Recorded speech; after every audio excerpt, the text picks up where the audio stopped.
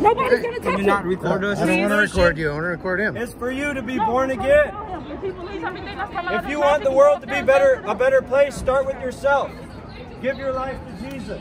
Go ahead and Give your life to Jesus. Go tell him You can preach the gospel God. to more people. You are not with us. Go spread talk the to them. Jesus Please leave us alone. I'm Please spreading the leave love us of Jesus alone. to you. Please leave us alone. Bible Son says, God, bro. You us I follow have me one more time. I'll alone. Freely I Don't fucking give. follow us. I'm not even. Fo- you're following me. You don't stand with us. You do not Jesus stand with Christ us. is the way, the truth, And and the go back to life. The only way you can get to heaven is through Him. Through His shed blood. Please leave us alone. Through His shed blood. You need Jesus. That's what God's going to say to you guys on Judgment Day. If you haven't turned from your sin, He's going to say, Depart from me, you workers of iniquity. Go away, go away, And you're not more Go away. powerful than God, so on Go away. Judgment Day, go away, He is going to have the Go final away. decision.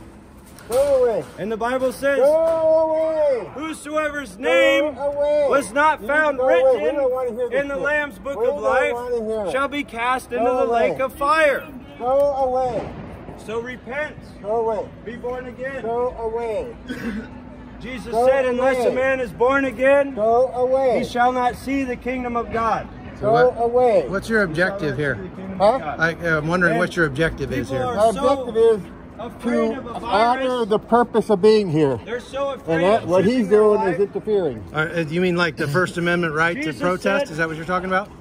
He who tries to save his Is life is that what you mean? I'll tell you what, you tell me what church you will from. lose his eternal Oh, I don't live here. I don't even live in this life. country.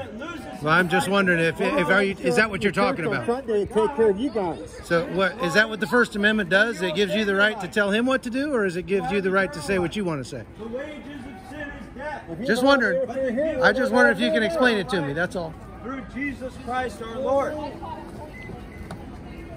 Yes, the way